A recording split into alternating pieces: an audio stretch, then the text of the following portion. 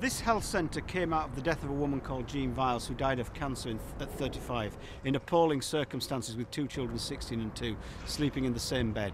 The processes and systems of the civil service were completely missing her, one of the most vulnerable people in our society. That's what the welfare state and the NHS was all set up to do, but it was missing the point. And it was really getting hold of Jean's life and actually afterwards ourselves getting purposeful and saying we'll build the first health centre in Britain that's owned by the patients and not the doctors. I could see here in the, the middle of the Lower Lee Valley now, 300 yards from the Olympic site, that at that time, 25 years ago, nothing worked. Anyone who could leave these housing estates had left. And you had 55 languages and dialects in 10 minutes walk of our buildings. And, you know, lots of voluntary sector projects having management committees and all that stuff, but they never built anything. When did you last have your blood pressure down? Um, Well, I've been a GP for 20 years in Tower Hamlets and always wanted to be able to provide much more for my patients. Uh, I recognised that yes, I could prescribe them an antidepressant, but actually, often what was really important to their health was getting a job, uh, getting some training, uh, looking at the environment they lived in, and the creative uh, side of them as individuals. I think one of the important things when this health centre was designed was to think about the quality of the environment within which we were delivering services. It's well known that in wealthier areas that people expect and get a very high level of both services and also the buildings in which those services are delivered from are also of high quality. So what we wanted to do was to build a very high quality environment which gave the message to our patients and to our users that they, they were equally valued. Again, how do we build rounded buildings so we lessen the sharpness of the buildings in this community? These are handmade bricks like the ones used at Glyndebourne Opera House. You know, how do you build a health centre and make it cost effective and do it like that? Well, there are ways, actually, but it requires commitment and, uh, and imagination as to how you do that. Well, I'm just interested in making things work, and what I've seen here in East London for years is that just a lot of stuff didn't work very well. And how do I begin to form partnerships with the public sector and business and other entrepreneurs to just do stuff? If you could draw another one like that on the I come for the simple reason is um, to keep my mind going. My body might be going rubbish. I want to keep the, my brain still working. I've been coming here nearly 18 years now. Some have been coming a bit longer. But we all sort of meet up here. They all come from different parts of Tower Hamlets. But we all meet up here. and It's socialising with other people. Well, when we started this uh, centre all those years ago, we were very much a one off.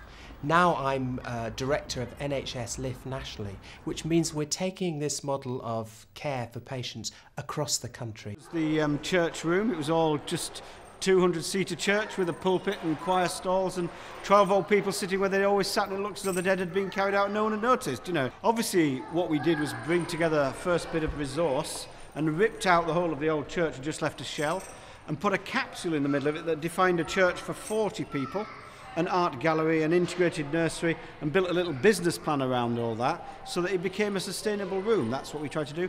And this canopy lifts up on ropes, and you can do theatre here, or Bengali Eid, or Jewish Passover. It can become many, many things. In some ways, it's about down to the detail of the chair, you know. Um, why did we go for handmade chairs? Because I think children remember which chair you sit on as a child. You know, it's really, really important. Whereas we keep stuffing our schools with plastic chairs and bent legs. These have been here 23 years. Those little details are what matter. I think that what we've been about here in this social enterprise is not just function, but about beauty and innovation and art. And I think what you see here is a beautiful space because I believe we are the environments we live and work in. And if we build certain sorts of work and play environments that are brutal, we will become brutalized. If we build beautiful spaces, it will change the way we are. Really important for all the hundreds of children coming through here. There's a place here full of human stories. Billy, who built our park out the back, was an unemployed 28 year old. All I did was, was give him a shovel and a pick, and he started picking up the tarmac and had this vision to plant a meadow. And my response was, Go for it, Billy. He plants the meadow, and six months later, the butterflies arrive. Civil servants find all this people stuff really difficult. But we all know it's why we all watch Neighbours and EastEnders. It's the people bit that makes it work. And you look at all the forms they give us, and it never mentions the people. Big mistake. What's also important is to underpin the model with a really strong financial base. And to do that, over the last five or six years, we've developed our social enterprise hub here at Bromley by Bow. This is a way that we deliver services for this local community. For example, we have a landscape design business, we have a graphic design business, we have a whole range of different businesses which create jobs and opportunities for local people, but also create financial profits so that we can sustain the wider work of the centre. Lots of people coming through, politicians for example, uh, we have many ministers coming through the Bromley Bow Centre and only yesterday actually had the Prime Minister coming and launching an initiative to support third sector organisations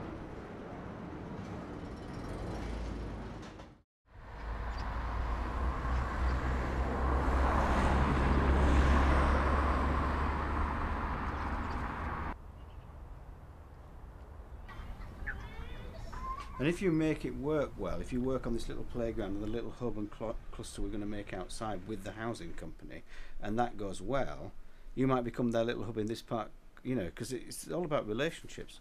I think the um, Leaside team and Lord Mawson and the work that we've carried out in the last year has been a huge success. Um, it's got all the staff on board and the staff thinking about ways of promoting the business and if, if they're on, on side as well and they can see you know, it's not just the jobs, they want to do it for the community. They're quite passionate about turning the place around.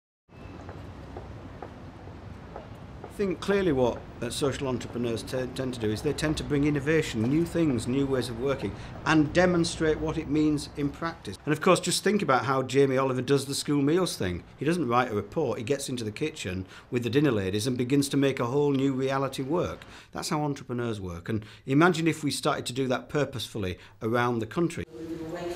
What I thought was really exciting about uh, the presentation of what's been learnt in this sustainability project is that in the process of doing the learning together, these healthy living centres have uh, made real positive differences to the lives of the people in their communities and 12 months on have a very much stronger sense of what they're about and what they're going to uh, achieve.